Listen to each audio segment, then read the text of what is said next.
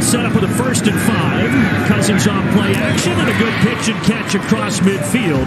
Well, there is Jordan Addison. So no Justin Jefferson on IR with a hamstring injury. Off the play fake. Gonna chuck one downfield here and hauling it in. No, I dropped it. Jordan Addison had it in his hands but lost it as he was going to the ground. Nobody gets it. Perfect on this drive so far. Looking in zone caught. Touchdown. It's the rookie, Jordan Addison. And Minnesota grabs the lead late in the second quarter.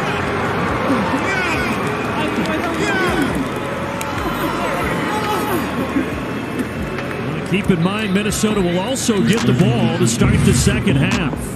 And he's going to go up on Brisker in the back of the end zone. Watch his little head nod to the inside. And they talked about how excited they were. Kevin O'Connell really loved what he saw from Jordan Addison. And, you know, I thought it was.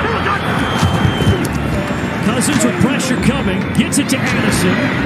Well, Addison makes it a much more manageable field goal try inside the 40 yard line. Third down and eight, pressure coming for the Bears. And Cousins throws it incomplete.